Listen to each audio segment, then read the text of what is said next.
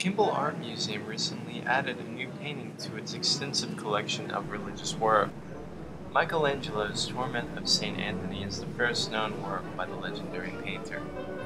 It's the only painting by Michelangelo in the entire Western Hemisphere. The painting is about St. Anthony Abbot, who was a hermit who lived in, in Egypt.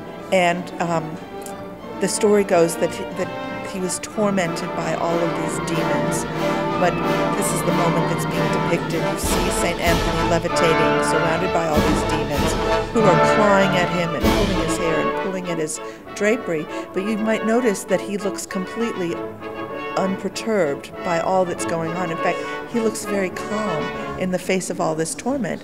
And it's because he realized that if any of those demons had any power, it would only take one of them to bring him down and to hurt him.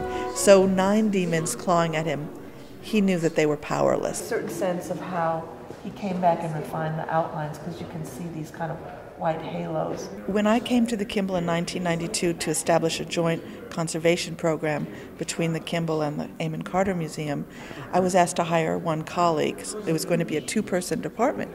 The first person that I hired was Michael Gallagher. He's a British restorer who is now the head of paintings conservation at the Met, and he's the person who cleaned this painting. When Adam Williams, the dealer who bought this painting, acquired it, he first had to get an export license so that he could take it out of England.